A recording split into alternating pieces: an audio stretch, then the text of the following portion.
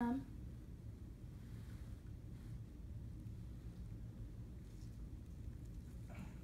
Doing okay?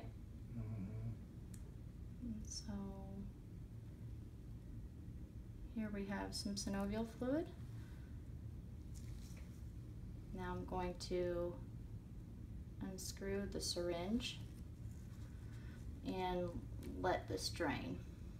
We're not going to get an accurate measurement of all the synovial fluid that we aspirate, but that's okay.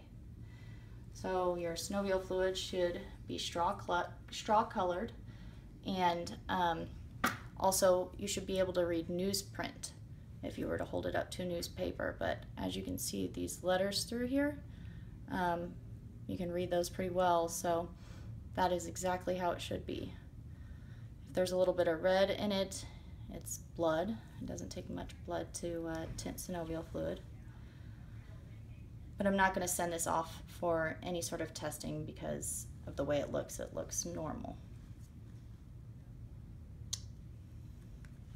So I can help this along and my fingers are still sterile.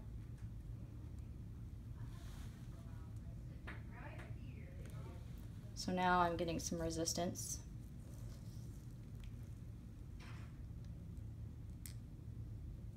May not be able to get all the excess synovial fluid out.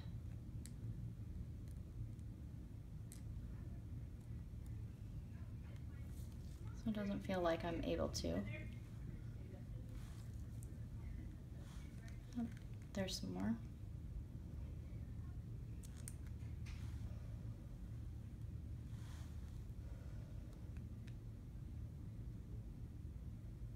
And it'll keep going.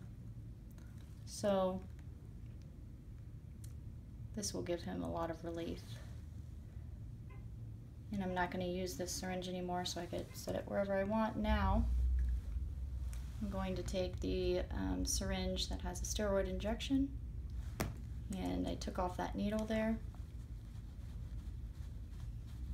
Shake it up, you don't want sediment in it.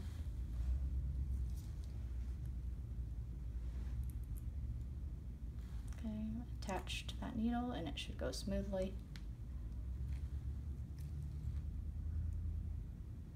And there we go. So remove the needle.